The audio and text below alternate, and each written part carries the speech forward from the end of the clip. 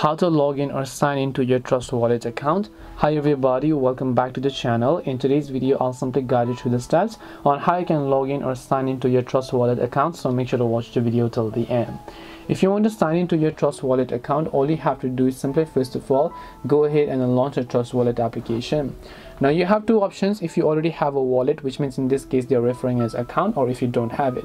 If you don't have it, then you can just tap this blue button that says create a new wallet.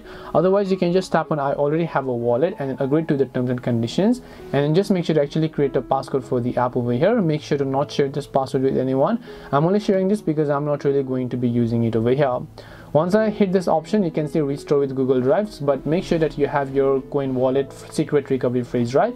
In my case I had backed up to Google Drive so I'm just going to select Google Drive and then there it's going to find out whether there are any sorts of backup codes. So I'm just going to select any of these codes here and then here you should be able to go ahead and find the encryption password. Once you enter the password you'll be successfully signed in.